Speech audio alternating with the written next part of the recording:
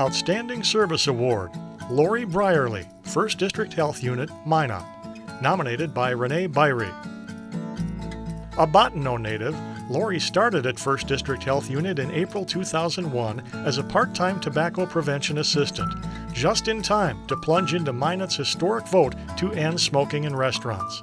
That turbulent beginning launched a public health career that has included the positions of Tobacco Prevention Coordinator, Director of Health Promotion, and Director of Public Information and Health Promotion.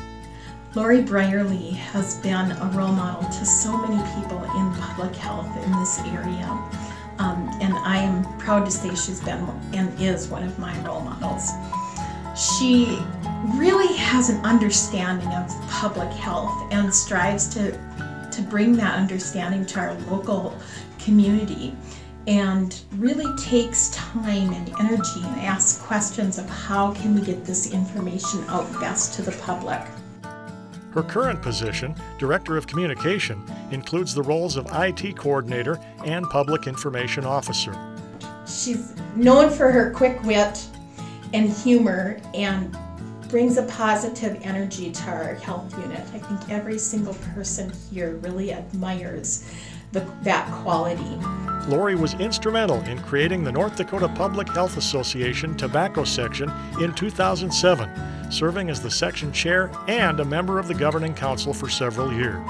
Her current project is implementing a web based electronic medical record system at First District. Lori put so much time and effort into the behind the scenes things that go on in public health, like making sure we're getting our messages out to the public.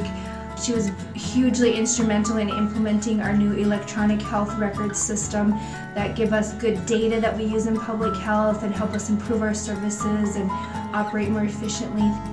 And not only is she a busy, dedicated professional, in addition, she's a busy, dedicated mother and grandmother. She has nine children, 15 grandchildren. I don't know how many goats, ducks, chickens, cats, dogs, but she's a nature lover also. And we are just honored, privileged, and tickled to be congratulating Lori on this award.